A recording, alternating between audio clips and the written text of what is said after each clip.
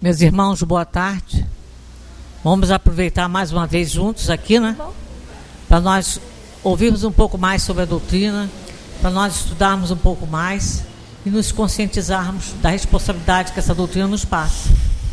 Agradecemos a Deus por mais essa oportunidade junto, nós encarnados e os desencarnados que aqui comparecem, os mentores espirituais que nos auxiliam, para que nós possamos estar acessíveis a essas informações que nos são passadas, para os aprendizados que aqui viemos buscar, que isso seja muito útil em nossas vidas, que nós tenhamos bastante atenção, aprendamos bastante, porque isso é importante enquanto nossa jornada encarnados, porque isso vai nos valer muito como desencarnados depois. E esse compromisso de vir aprender, estudar, trabalhar a recuperação no planeta, certamente foi coisa assumida por nós. E Deus nos dá essa oportunidade e nós só temos que agradecer que todos nós encarnados e encarnados estejamos bem e possamos aproveitar com muita luz e muita paz a explanação da nossa irmã Sueli, que vai falar sobre o livro dos Espíritos. Graças vos damos que assim seja.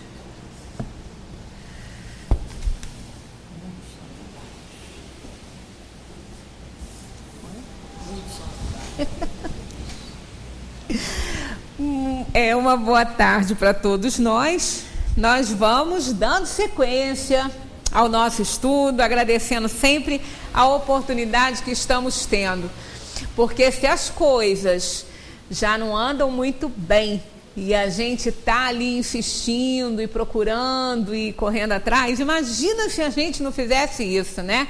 Que às vezes as pessoas falam, poxa, a gente faz tanto, a gente procura, a gente faz um, a nossa parte, mas parece que está sempre tudo dando errado. Imagina então se a gente não fizesse, né? Como é que ia a coisa andar, né? Mas graças a Deus a gente mantém aquele ponto fundamental para a nossa vida, né? Que é uma fé raciocinada. Nós sabemos que a fé, ela que, que a gente tem, ela não vai nos isentar dos reveses, ela não vai nos isentar das dores, ela não vai tirar né, aquele mal-estar, aquela coisa, ela vai com certeza nos ligar com a espiritualidade, nos dar a força suficiente para enfrentar os problemas que a gente passa. Né? Então, essa fé raciocinada que a gente aprende na doutrina é aquela que nos diz que nunca estamos abandonados que tem sempre alguém junto de nós, nos ajudando, nos carregando no colo quando a gente não consegue andar, nos auxiliando e sempre nos incentivando que, e mostrando que sempre tem uma coisa boa para acontecer, que nós não estamos condenados a nada, que ninguém está perdido, que ninguém está no, no, no buraco. Né? A gente pode até descer, mas eles nos dão a mão e a gente sobe. Isso é uma fé raciocinada. A gente sabe que não é porque a gente tem fé que nada vai nos acontecer. Eu sempre lembro do Roberto Carlos. Quando eu falo em fé raciocinada e falo em fé. Sempre lembro. Porque numa entrevista que ele deu, quando a mulher estava muito doente, ela estava num estado bem avançado da doença, ele foi questionado sobre isso, como que ele estava encarando a perda da mulher. Ele falou: Mas eu não vou perder minha mulher. Ela vai ficar boa, porque eu tenho fé. E Deus não vai me abandonar. Ela vai ficar boa. A gente sabe que não é por aí, né? Não é por aí. Quem tem, se fosse assim, quem tem fé ia ficar para semente, não ia morrer, não ia perder ninguém, né? Não é esse. Então isso é uma fé cega. Isso é uma fé cega. Né? Nós temos o nosso corpo tem um tempo para viver, não aguenta muito mais. Quando as doenças chegam, se for uma doença degenerativa, uma doença grave, não vamos muito além com esse corpo, porque ela, a doença impede, mas a alma que não vai morrer. Não é realmente a alma, ela vai permanecer, porque ela não morre nunca. Mas aí, passado um tempo, ele ficou muito arrasado, mais de um ano sem falar, sem aparecer, nem nada. E quando ele retornou, o mesmo, o mesmo repórter, o mesmo jornalista, ao entrevistá-lo, falou: Roberto, como é que está a sua fé agora? ela continua, porque na época ele falou, ela é inabalável. Aí ele, ele perguntou, e a sua fé agora, como é ela continua inabalável? Ele falou, continua, mas de uma forma diferente, com outra visão. Então ele procurou entender, né? Claro que ele procurou entender. Então, com outra visão. Não é porque as coisas nos acontecem, que as desgraças que nós chamamos desgraças, que não são desgraças. Nunca acontece desgraça com a gente. Não é desgraça. É desgraça no nosso ponto de vista. É desgraça no nosso modo de olhar, mas não é uma desgraça. As coisas acontecem nesse mundo por uma razão muito especial. Há uma importância, nada acontece por acaso, então não é uma desgraça, são necessidades kármicas nossas, né? Então, na verdade, isso aí vai nos dando força para prosseguir. Então, o que não pode nos faltar é essa fé raciocinada que realmente vai nos mostrar o caminho, vai nos animar e vai nos mostrar que sozinho nós não estamos.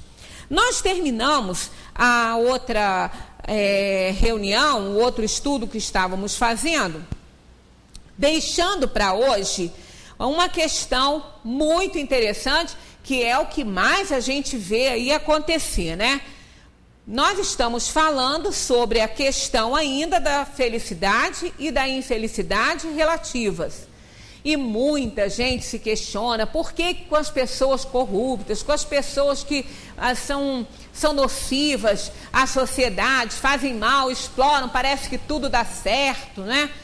Pois é, não é bem assim. Quem estuda o Espiritismo sabe que não é bem assim. Mas Kardec fez essa pergunta: porque neste mundo os maus são intrigantes e por, perdão, estou lá na resposta. Porque neste mundo os maus exercem geralmente maior influência sobre os bons. E eles respondem: pela fraqueza dos bons. Os maus são intrigantes e audaciosos os bons são tímidos. Estes, quando quiserem, assumirão a preponderância.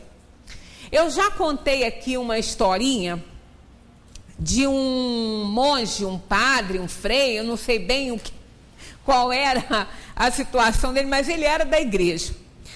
E ele chegou a um lugarejo fora do horário que ele esperava, era um lugar que ele não conhecia, não tinha ali, não é, aquela aquele acesso direto à irmandade dele, ele tinha que continuar depois, mas ele escureceu, ele tinha que parar por ali mesmo. E ele não sabia onde que ele ia ficar naquele cantinho ali. Então ele meio perdido, um rapaz, já era tarde, né? Um rapaz viu e perguntou se ele procurava algum lugar para ficar porque ali não tinha. Aí ele falou assim: Olha, realmente eu procuro, mas aonde eu posso encontrar um lugar onde eu possa ficar até amanhã? Onde eu possa descansar? Ele falou: Olha, vai ser difícil. Chamou ele de padre: Vai ser difícil, seu padre. Aqui não tem, não. Aí viu assim a situação dele assim esquisita e falou: Bom, a menos que o senhor queira ficar na minha casa. Mas eu não tenho uma boa reputação, não, o rapaz falou para ele. Eu não tenho uma boa reputação, não. Não sei se o senhor vai gostar, não. Aí ele falou: Meu filho, somos todos filhos de Deus. Aí o próprio, a própria criatura falou com ele: É, mas eu não tenho tido uma conduta assim como filho de Deus, não. Aí o padre até se interessou, né? Quem sabe mais uma ovelhinha para o rebanho ele ia rebanhar, né? E lá foi ele para casa do ladrão ele roubava, né? Aliás, ele estava indo fazer isso. Aí, mas ele, ele se atrasou um pouquinho, levou lá o padre lá para dentro. E aí falou assim: ó, seu padre, só tem alguma coisinha aí, o senhor procura aí para comer, o senhor se acomoda aí, porque eu tenho que trabalhar. aí o padre falou assim: ah, o senhor trabalha em quê? Aí ele falou assim: ué, eu roubo. Aí ele falou, mas você considera isso um trabalho? Ele falou assim, ah, depende do ponto de vista. No meu é, porque de onde eu arranjo dinheiro para sobreviver.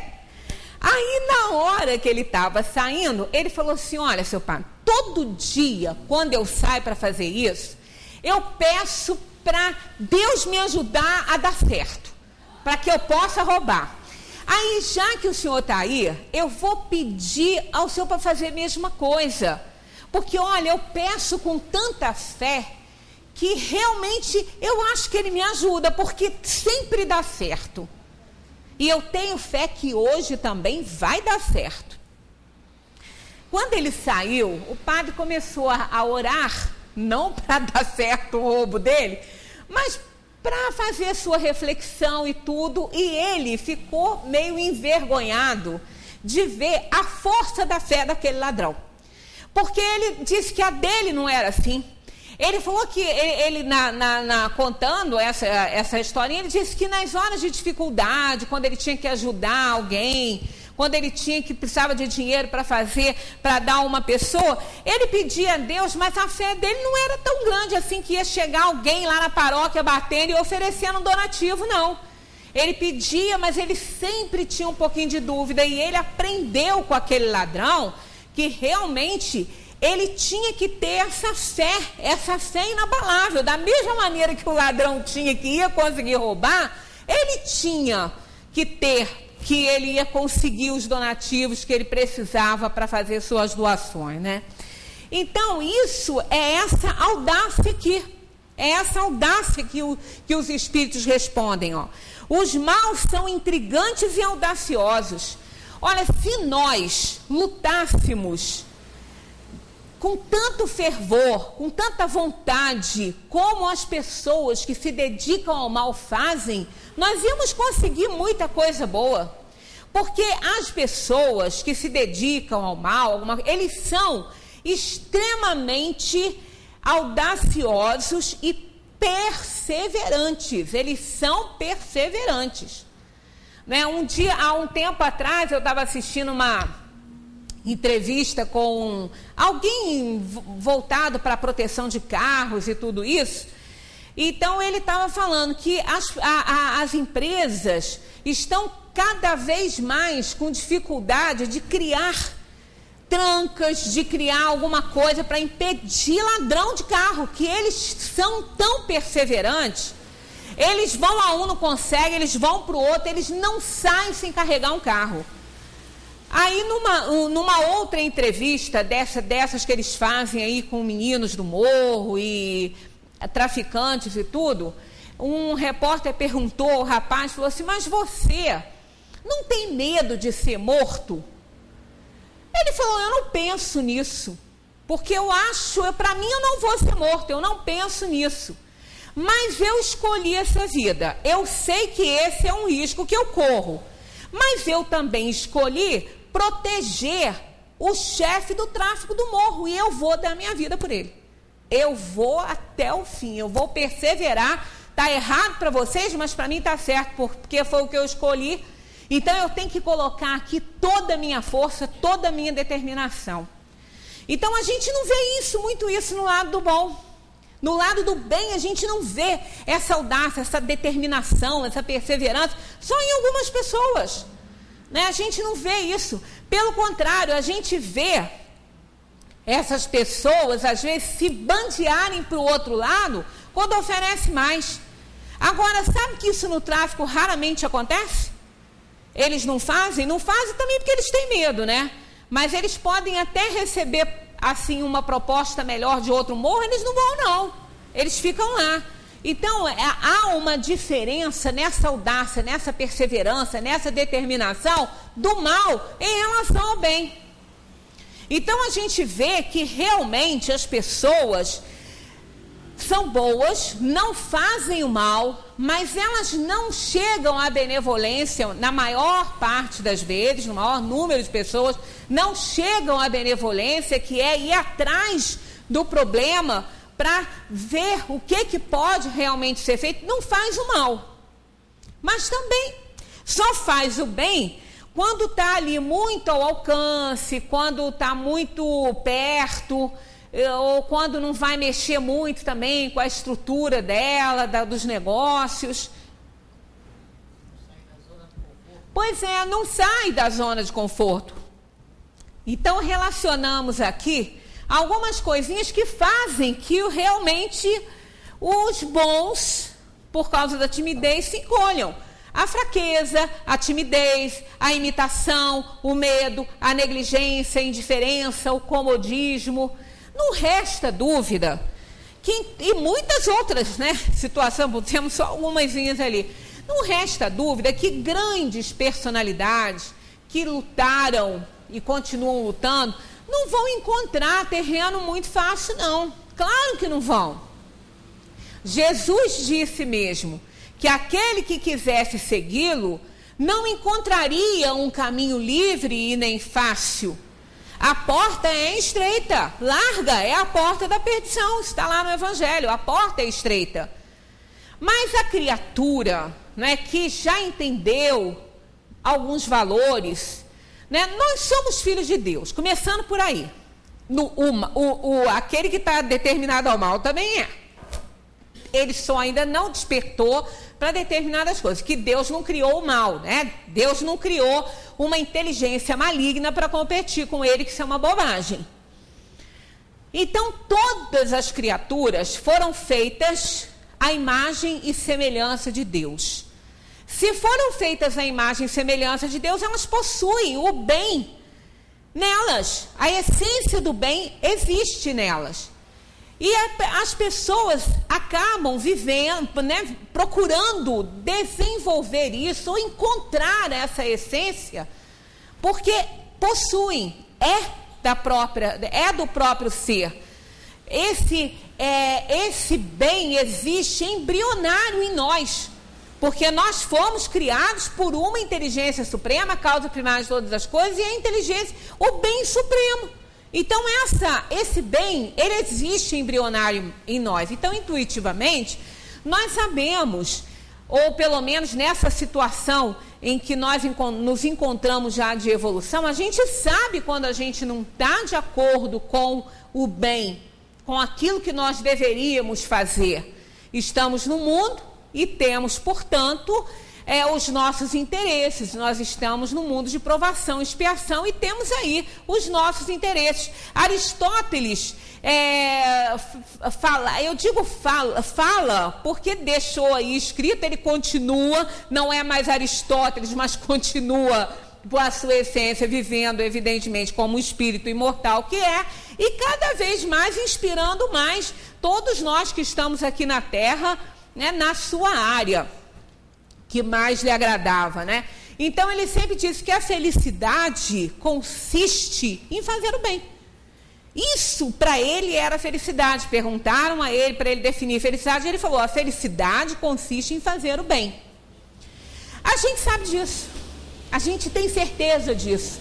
Ninguém precisa nos dizer, quando a gente faz um bem, a gente se sente feliz com isso a gente se sente muito bem. Primeiro, porque isso não é uma prática diária e constante, permanente na nossa vida, né? Então, quando a gente faz, percebeu que faz e viu que ajudou, a gente se sente muito bem com essa situação. Mas, apesar disso, frequentemente nós estamos nos envolvendo com o mal. É uma atitude ruim que a gente toma com um amigo, dentro da família, né? Na nossa profissão, frequentemente isso está ocorrendo conosco. Paulo, numa carta aos Coríntios, ele, ele cita isso. O bem que quero não faço, e o mal que não quero, esse faço. O Paulo já fazia isso, sentia isso na época, né? Que ele viveu. E, e todos nós sentimos quando vivemos lá para trás, continuamos a sentir hoje. Então a gente quer fazer o bem, a gente deseja fazer o bem.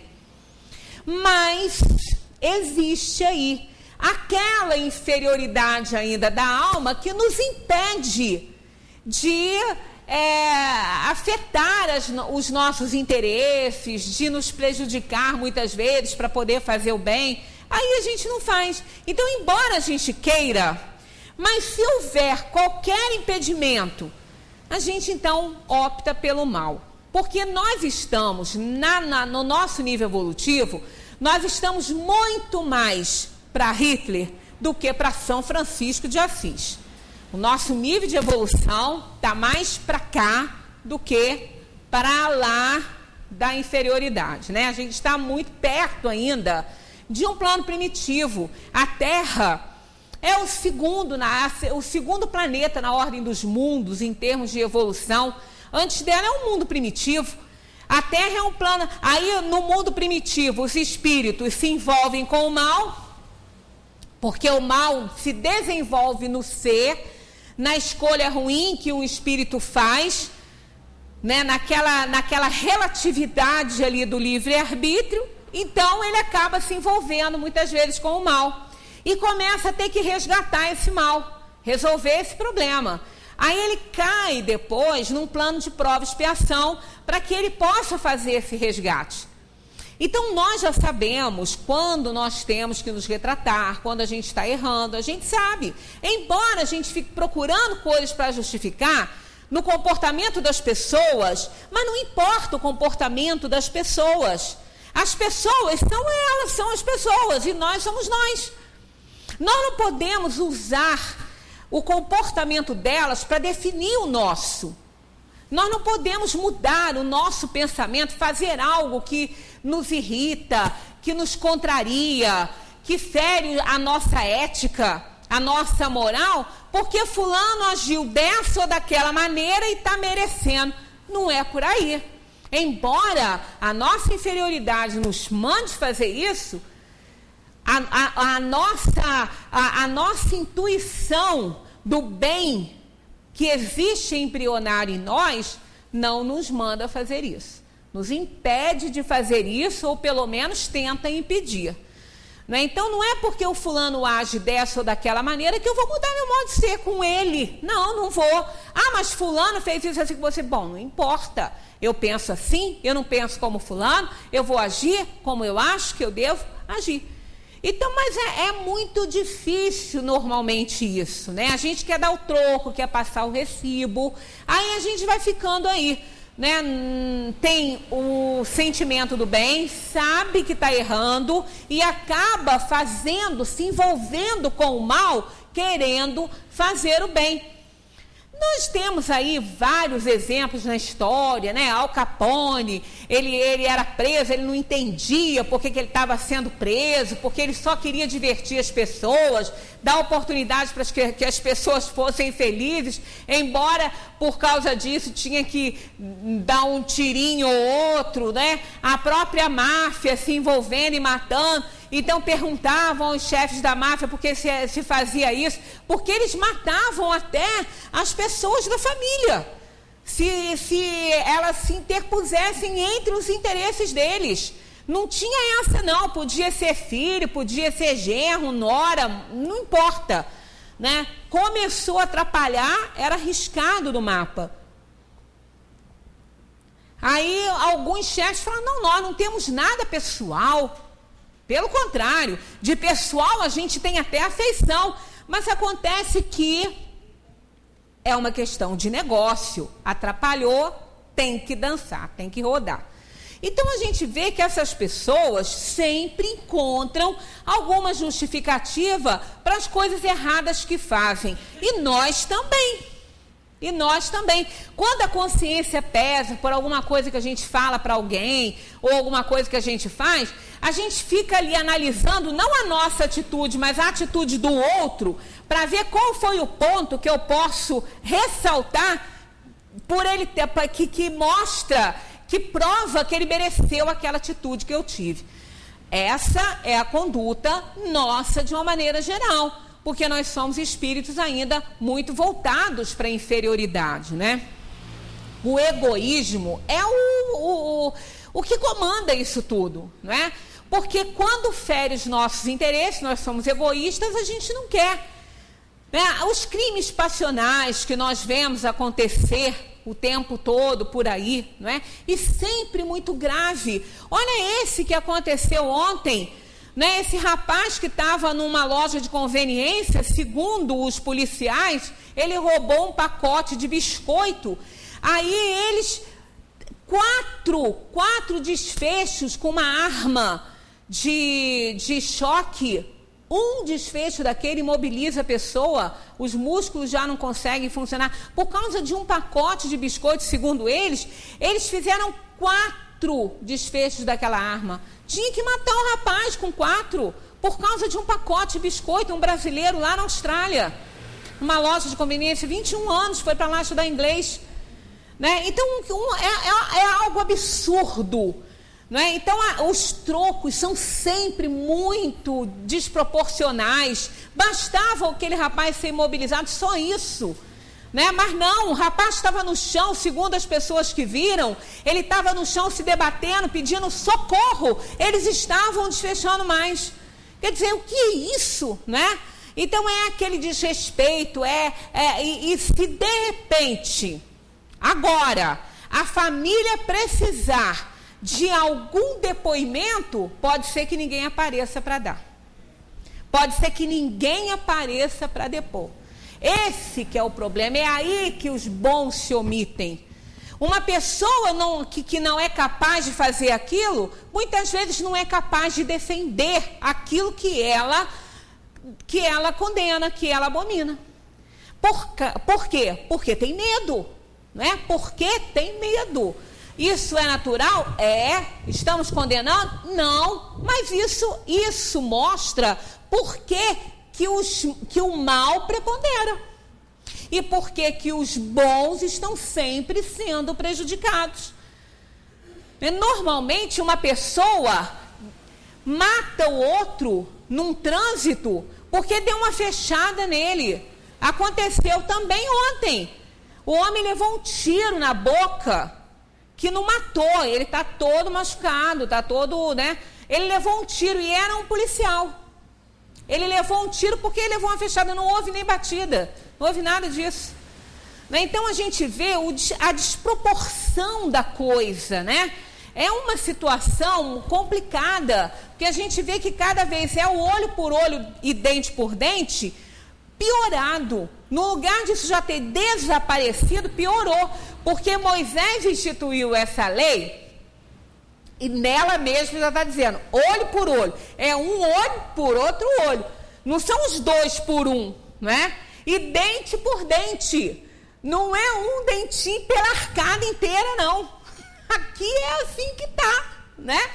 O sujeito é por causa de um esbarrão, às vezes, num portão, ele joga uma bomba dentro da casa do outro, né? Porque feriu o portão dele. Então, nós estamos realmente numa época que está muito difícil. Está muito difícil. E se os bons não arriscarem, isso aí vai piorar. A gente não tem uma, uma, uma visão de melhora da coisa do jeito que está. Porque os bons ficam quietos, não reclamam, não falam. Né? E às vezes a gente ouve a pessoa falar, ih, fulano, não se mete nisso, não, deixa isso para lá. Não é, não pode deixar nada para lá, não. Se está errado, a gente tem que falar. Se está errado, a gente tem que procurar fazer que pelo menos o outro saiba que existe uma indignação ali naquele momento para aquilo. Aconteceu outro de uma coisa interessante. Eu cheguei para guardar o carro numa, numa garagem que eu alugo numa rua depois da minha. Aí tinha um caminhão de mudança descarregando uma mudança, mas obstruindo totalmente a passagem, que a ruazinha é estreita. Então, se parar um caminhão e, eu, se ele parasse na mão dele, eu passaria no canto, mas ele parou no meio para dar é, espaço para ele abrir aquela porta e, e na frente da, da subidinha da escada para descarregar. E eu com pressa, que eu tinha hora para viajar, ia deixar o meu carro e eu ia em outro. Eu tinha hora para botar aquele carro ali dentro. E o cara, aí eu, eu fui pedir ajuda, eu falei, senhor pode tirar, por favor, que eu tô com. A... Agora nós não podemos mexer no caminhão, não, porque eu já tirei as cordas e se eu mexer, tudo que está lá dentro vai cair. Aí eu falei, quer dizer que eu tenho que esperar o senhor descarregar o caminhão para eu poder passar. O senhor está impedindo a minha passagem. Ah, mas a senhora espera um pouco. Eu falei, o senhor está começando agora, pelo que eu estou vendo, o senhor tirou as amarras agora? Quanto tempo vai demorar isso? Aí eu fiquei ali um pouquinho, aí eu tive vontade de chamar o TRAN. Mas não ia chegar a tempo, porque até que chegasse, eu nem telefone ali deles eu tinha e tal. Eu falei, gente, mas que desrespeito uma coisa dessa. Eu vou atrasar a minha vida, eu vou, eu vou atrasar as pessoas, porque tem um caminhão atravancando a minha passagem. Aí uma pessoa que me conhece, que estava vindo assim, aí eu falei, gente, isso, isso é o fim, isso não existe. Aí veio a dona do apartamento, me pediu um pouco de paciência. Aí o rapaz que estava comigo, ele falou assim: Ah, eu sei que você não vai criar nenhum problema, porque você é espiritualizada. Eu olhei para ele assim, eu falei assim, meu Deus, me ajuda, porque agora o crachá de espírita foi para a bolsa. Foi para a bolsa, nem sei se foi para a bolsa só. Né? De repente eu joguei e foi fora mesmo pela janela do carro, né? Aí eu fiquei ali, aí depois eu acho que a prece ajudou e a boca colou. Porque eu não falei nada. Mas aí é que entra as pessoas, o equívoco das pessoas, né? Você é espírita, você não pode reclamar, você não pode ver nada errado, não pode falar. Onde foi que essa gente estudou isso no livro dos espíritos? Eu queria saber. Porque eu não encontrei ali, não. Não é? Então o espírita não pode reclamar de nada, ele não pode ver uma coisa errada. Pelo contrário. Pelo contrário, ele tem que fazer a parte dele. Está errado, vamos conversar. Né? O que não pode é a pessoa já ir jogando pedra em cima do outro, falando desaforo. Não, vamos conversar. Fui lá, pedi o rapaz para tirar. Ele falou que não dava para tirar.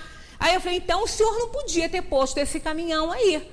O senhor tinha que ter encostado na linha do meio-fio, que eu passava. O rapaz de moto, que também aluga garagem no mesmo lugar, também não, moto não passava. Olha só, moto não passava. Então é um desrespeito e as pessoas não podem ficar quietas. Sábado aconteceu a mesma coisa. Só que eu dei sorte porque é um prédio com três apartamentos. Estava ocupando o outro, ainda tem mais um para ocupar.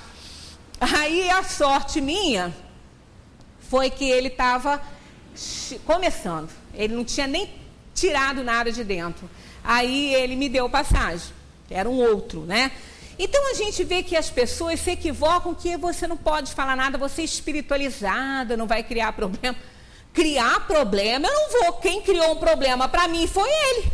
Eu não estava criando nenhum problema.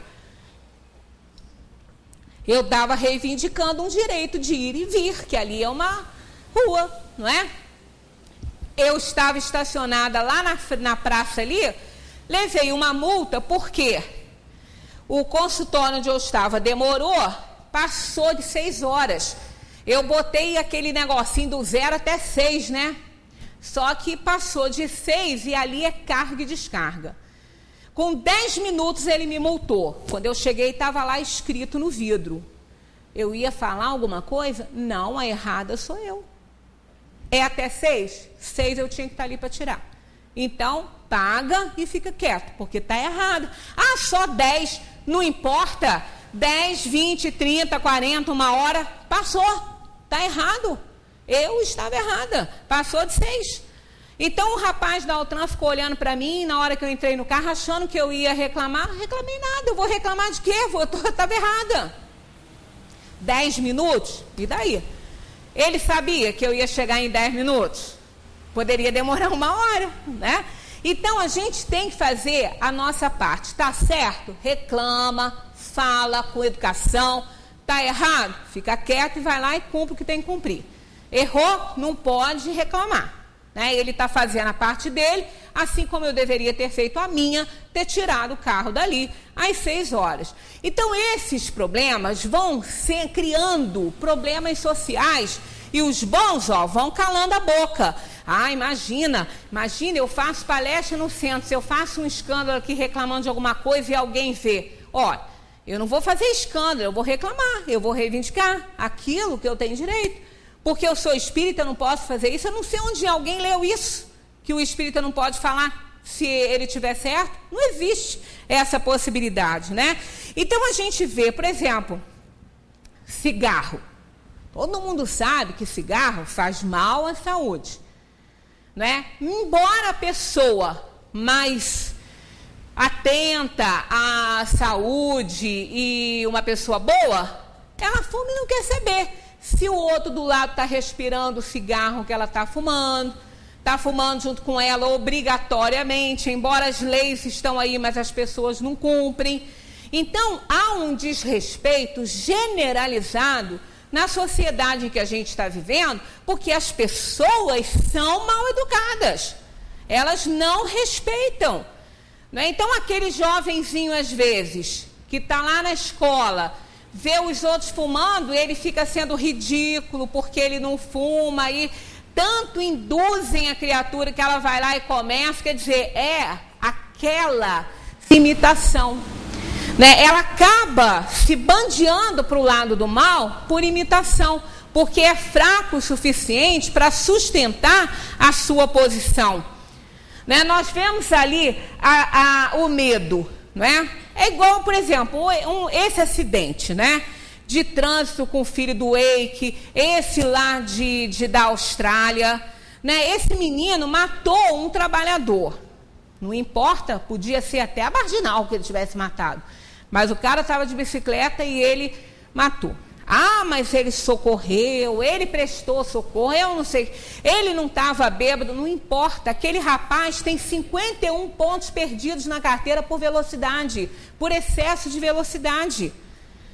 Dos quais 21 não foram computados porque ele ainda não tinha carteira, estava naquela espera, aquele primeiro ano.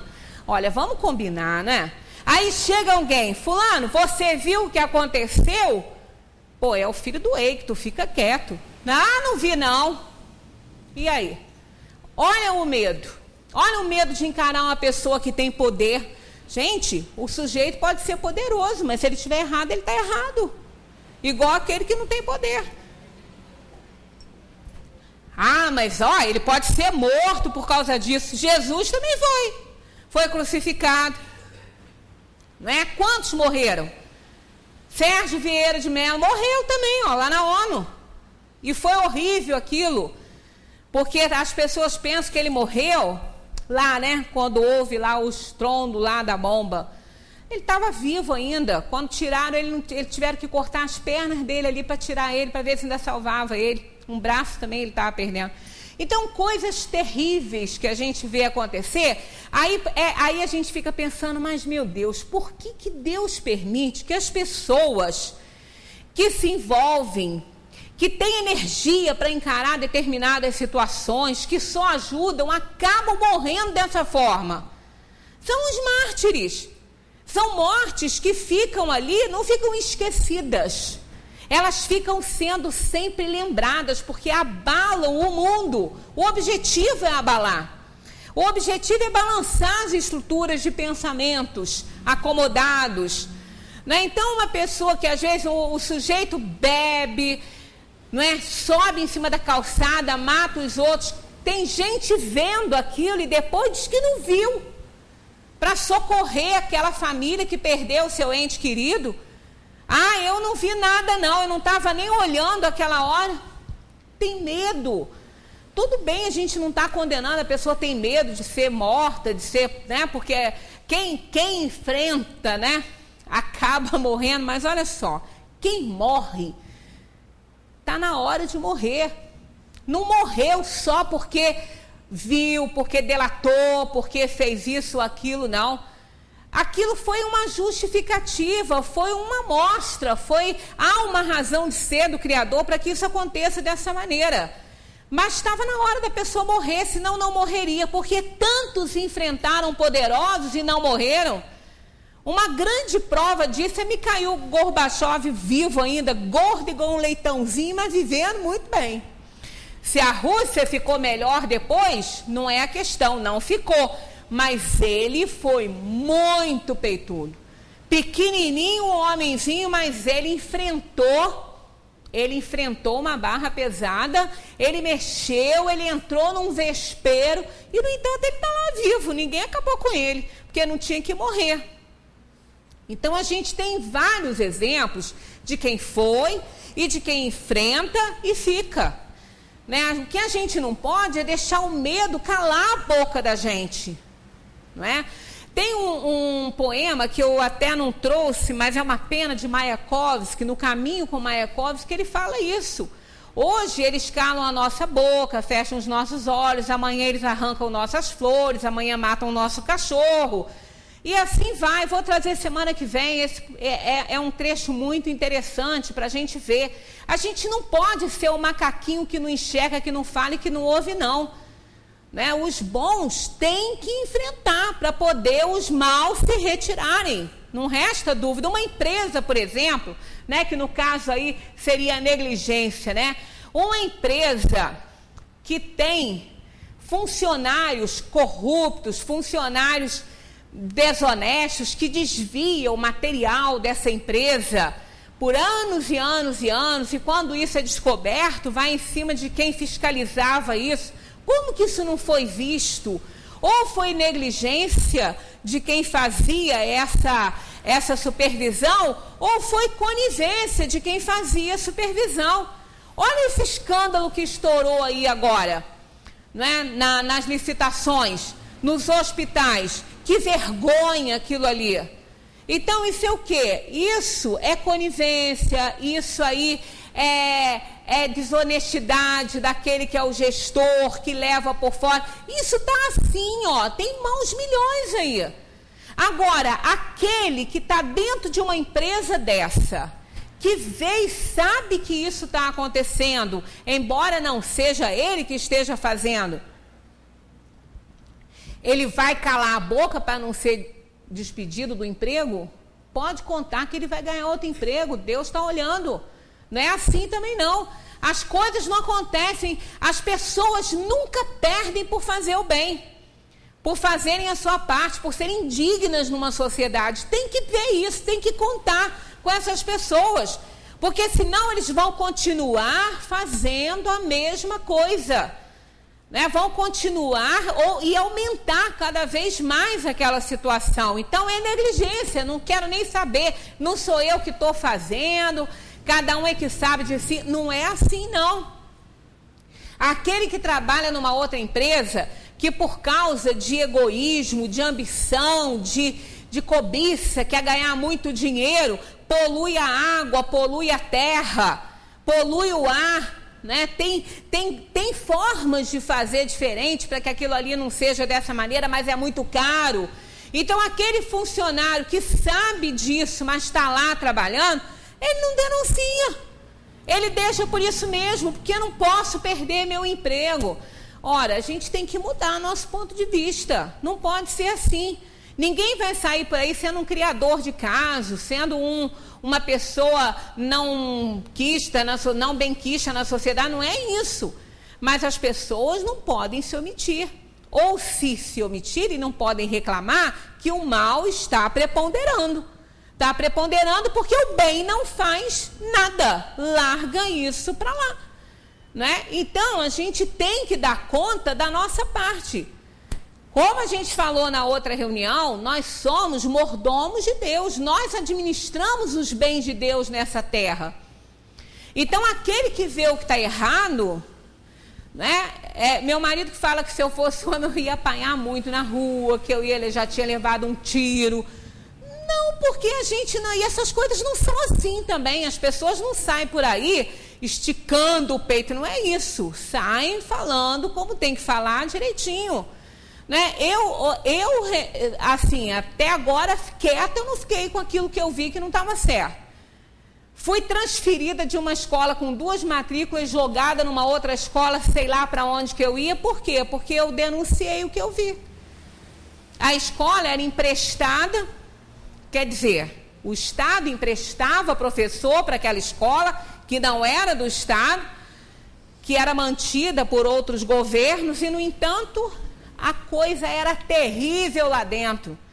As crianças eram maltratadas, aí a gente foi descobrindo uma série de coisas. Eu falei, você acha que eu vou ficar quieto, que eu vou pedir transferência dessa, dessa escola, ficar quieto e ficar com isso na minha cabeça? Mas não vou mesmo. Fizemos uma carta para o diretor na Alemanha, veio para cá, não nos deu razão. Qual foi a consequência disso tudo para mim? Fui impedida de voltar para a escola e pisar lá dentro, até para apanhar minhas coisas que estavam lá. Mas depois fui para uma escola muito melhor, muito mais perto da minha casa, com um horário muito melhor. Mas eu fui impedida de voltar, né? Escorraçada da escola. Por quê? Porque não interessava para eles que essas coisas fossem descobertas, porque os diretores também estavam envolvidos. Eu é que não sabia e a outra também não, que eles estavam envolvidos. A gente achava que eles estavam inocentes, mas não estavam. Não era o diretor daqui, não, diretor de fora. Então, eram essas coisas. Me dei mal naquele momento? Me dei, mas não continuei me dando mal, não. Primeiro que eu lavei minha consciência com isso. Denunciei aquilo que eu vi que não estava certo. E depois arranjei a escola melhor. Né? Com horário melhor, com tudo melhor. Então, aquele que procura pelo menos fazer o bem, imagina até hoje se eu não falasse nada, sabendo que aquelas coisas aconteciam. Com criança, não, que isso? Vamos abrir a boca. Ah, mas a outra lá foi ameaçada de morte. Eu falei, e daí? Se eu morrer, está na hora de eu morrer mesmo. Eu não vou morrer porque fiz isso. Se eu morrer, é porque tem que morrer. Essa pode ser a justificativa. Né? Não sou valente, não. Pelo contrário, sou uma medrosa nesse mundo. Mas pelo menos a minha consciência precisa estar tranquila. Né? Vendo as coisas erradas e a gente ficar quieto, não dá para ficar. Eu moro num lugar que dá para acesso para ver algumas coisas. Então tem um vizinho do outro lado assim da rua, não na minha rua que eu moro, lá do outro lado. Pouquinho longe até. Limpou o terreno dele, grande pra caramba, um terreno grande, que estava com mais árvores altas, jogou aquilo tudo para dentro do rio. Estava ali na minha frente represando a água, uma montanha de mato, de, de tronco, de não sei o quê. Aí, continuou. Eu falei, o quê? Aqui, prefeitura. Não sei qual é o órgão, não, mas queria que vocês fizessem uma visita. Vocês querem meu nome? Não, senhora, não precisa se identificar. Mas se precisar, dou também. Não tem medo disso, não. Tá, tá uma coisa feia, pode vir aqui. Quando chegaram, não deu, não deu dez minutos, estavam lá, vendo aquele horror acontecer. Fizeram o homem entrar no rio, tirar aquilo tudo lá de dentro, botar para cima do terreno dele, ainda deram uma multa para ele. Eu fiquei feliz com isso? Não. Eu fiquei muito infeliz quando vi ele fazer aquilo. Porque sofre enchente também quando tem. Né? Quer dizer, sofre ainda faz. Aí quer dizer, vou ficar quieta vendo essas coisas? Não vou mesmo. Né? Não vou mesmo. Ah, é dona encrenca? Tudo bem, não tem problema. Se for para ver o que está errado e falar, que eu seja dona encrenca para o resto da vida. Né? Mas está errado. Então a gente tem que parar com esse negócio ó, de fraqueza, timidez, medo, negligência, indiferença e se acomodar. As pessoas não querem se envolver. Né? Não querem se envolver. Eu às vezes ouço coisas absurdas, né? Sobre o Greenpeace que faz aquelas coisas todas. Bom, aquela coisa, eu não sei qual é a intenção que está por trás, se tem política envolvida, se não tem, mas eles estão, pelo menos, gritando o que estão vendo acontecer no mundo, não é? Hoje, por exemplo, eles ficam lá, ah, tanta gente para proteger, estão protegendo baleia, estão protegendo golfinho. Ué, mas eles são seres que estão na natureza e são criação de Deus também. Não é porque tem criança morrendo de fome que a gente não pode mais fazer nada? Não, não é por aí. Né? A gente tem que fazer a parte que nos cabe. Para que a gente não caia nessa questão do mal preponderar, porque os bons se omitem. Se é o homem em geral o artífice dos seus sofrimentos materiais, sê-lo-á também dos sofrimentos morais? Olha só, se ele é o artífice do material, do sofrimento material, porque ele faz uma escolha ruim, ele vai sofrer a consequência daquilo ali, ele é também do sofrimento moral, e eles dizem, mais ainda, pois os sofrimentos materiais são às vezes independentes da vontade. Enquanto o orgulho ferido, a ambição frustrada, a ansiedade da avareza, a inveja, o ciúme, todas as paixões, enfim, constituem torturas da alma. Né? Todas as nossas inferioridades já nos torturam muito a alma. Se a gente ainda for se torturar por consciência pesada, por arrependimento e por remorso, nós estamos ferrados nesse mundo. Aí não há a menor condição de ser um pouquinho feliz. Não há a menor condição. Né? Porque a gente tem que manter pelo menos a nossa consciência em paz. A gente fala assim: olha, realmente o ser na terra, né, nós aqui na terra, nós não precisamos de religião, não. Não precisamos de religião. Porque a religião não salva ninguém. Ela não salva ninguém, não existe isso. Todas são ótimas e boas porque ajudam o homem a se salvar. Não é ela que vai se salvar. Jesus não morreu na cruz, o Cordeiro de Deus, que lavou os pecados do mundo, lavou coisa nenhuma. Ele mostrou como cada um poderia lavar o próprio. Aí, cada um lavando seus pecados, o mundo estaria todo lavado. Né? A gente já falou aqui na questão da, da casa na frente limpa, né? Se cada um varrer sua calçada, a calçada do bairro inteiro vai estar limpa. Bairro inteiro. Então nós temos que fazer. Jesus morreu para nos salvar na situação de mostrar o que deveríamos fazer para nos salvar. Mas ninguém transferiu para ele os seus pecados e ele salvou a todos porque morreu na cruz. Não salvou ninguém. Ele mostrou que deveríamos fazer ir às últimas consequências, porque a significação da morte de Jesus na cruz é essa. Não é para ele ficar sendo lembrado na cruz, não é isso não. Porque quem fica cultuando esse Jesus na cruz morto, Jesus, a criatura morta não faz mais nada. Então é um Jesus vivo, é aquele que transcendeu a matéria e ele foi as últimas consequências da matéria. Qual seria a última consequência da matéria? A morte do corpo. Não teria outra maior. As pessoas temiam isso, né? Sempre temeram e continuam temendo. Então, essa morte do Cristo na, na cruz foi a, a, o exemplo final de até onde poderíamos ir em favor da salvação até dar, até dar a própria vida, como ele fez. Não é? Então nós não vamos sair por aí querendo que alguém nos mate para a gente dar a própria vida em favor do bem. Não é isso. A gente tem que entender, dar a outra face não é dar a outra para apanhar, não.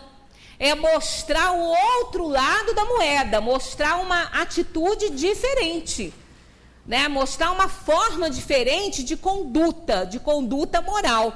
Então, claro que mais ainda nós vamos ter problemas morais se nós não fizermos a nossa parte. Inveja e ciúme, felizes os que não conhecem esses dois vermes vorazes.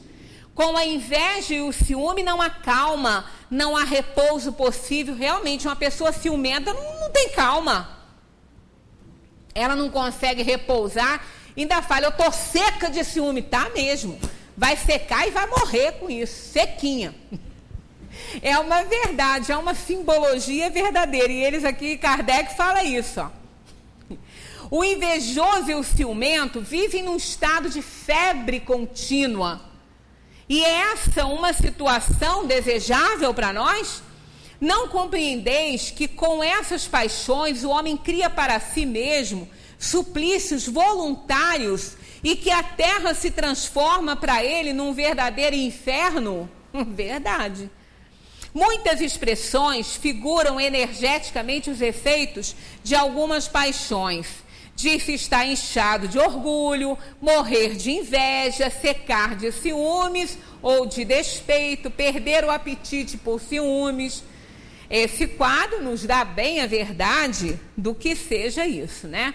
Às vezes o ciúme nem tem objeto determinado. Há pessoas que se mostram naturalmente ciumentas de todos os que se elevam. Não é bem o ciúme, é a inveja. Né? Todo mundo, aquela pessoa na casa, aquele, aquele núcleo familiar que tem uma pessoa que é mais pacificadora, não é? que é mais tranquila, que tem uma energia melhor, que não bota fogo na fogueira, essa pessoa às vezes ela é invejada. As pessoas têm raiva de uma pessoa dessa, porque atrapalha, né? Atrapalha o movimento. Apaga o fogo que elas acendem. Aí isso não é muito bom, né? O homem só é infeliz, geralmente, pela importância que liga as coisas desse mundo. Isso é a maior verdade que tem. Tem pessoas que sofrem tanto porque não pode ter aquilo que elas desejariam nas coisas materiais. Que bobagem, fica tudo aqui. Né? Caixão não tem gaveta, ainda que tivesse, não adianta nada. Né? Não adianta nada. Aí, quer dizer, são coisas que às vezes a gente vê acontecer, as pessoas morrem e matam, correm atrás do ouro o tempo todo, para quando botar a mão morrer, né? E largar tudo aí. A vaidade, a ambição e a cupidez fracassadas o fazem infeliz. Se ele se elevar acima do círculo estreito da vida, da vida material, se elevar o seu pensamento ao infinito, que é o seu destino, as vicissitudes da humanidade lhe parecerão mesquinhas e pueris. Para que que a gente vai se aborrecer com ninharia? Isso é besteira, é bobagem. Eu me aborreço, eu estou falando isso por mim. Porque aqui eu acho que vocês não, mas eu me aborreço por ninharia. Depois eu tenho uma vergonha de mim horrível, horrível. Né? Mas tomara que essa vergonha sirva para eu não me aborrecer de novo com ninharia. Mas dali a pouco estou eu lá. Aí eu lembro de Paulo: ah, meu Deus, o bem que quero não faço, o mal que não quero esse faço. Eu repito isso o tempo todo né? e continuo fazendo, às vezes, aquilo que não deve. É.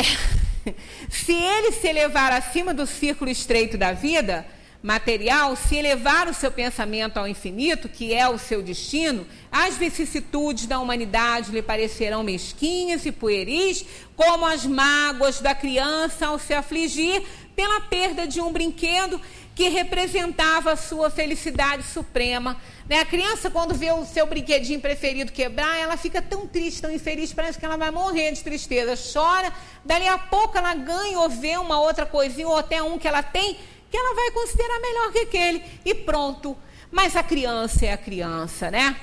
Perguntaram um sábio isso. O que fazer para ser feliz nesse mundo? Aí ele falou: sede como a criança. Mas a criança, criança não sabe nada, criança sabe muito.